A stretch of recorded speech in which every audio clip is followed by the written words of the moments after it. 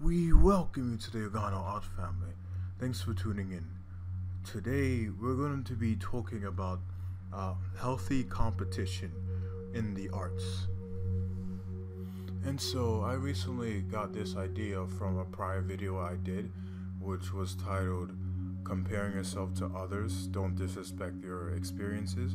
And it can also be seen as, you know, comparing yourself to others in terms of uh, an artist's perspective. And so within the comment section, I posted that video on the forums and it got and I read some of the comments and it gave me an uh, idea to do a video on uh, healthy competition versus unhealthy competition.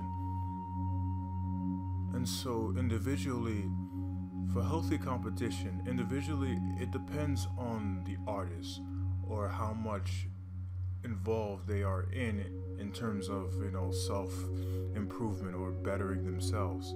There are two type of mindsets that artists can either go into and these two types of mindsets is uh, you know first off the the healthy competition. And within the the healthy competition we are inspired by these you know advanced or talented artists. We want to know what they do. And so from us learning from the other person that we inspire to be like from their experiences, we take what works for for us and leave out what doesn't work for us just due to no two individuals being the same. And due to no two individuals being the same we have no business in the comparison in our in ourselves to the other person because we have each lived our own different lives. And it could be more of a, a healthy comparison as opposed to an obsessive or an, an unhealthy comparison.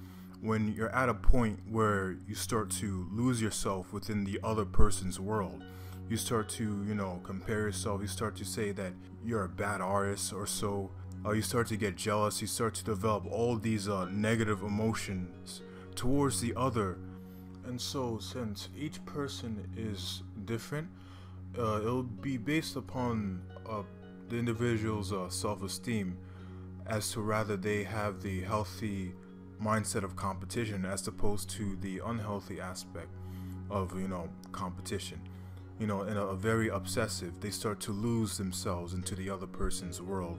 And you, start to, you know, in a way, scrap out your identity into and put your identity onto the other person. And I feel that, you know, balance is key. Although you, you do want to understand, you know, the other person's world. You don't want to dive too into the other person's world because you are a unique world that hasn't been discovered yet. And so as we, you know, expand our individual world, we uh, again we take what works for uh, for us and we leave out what doesn't work for us.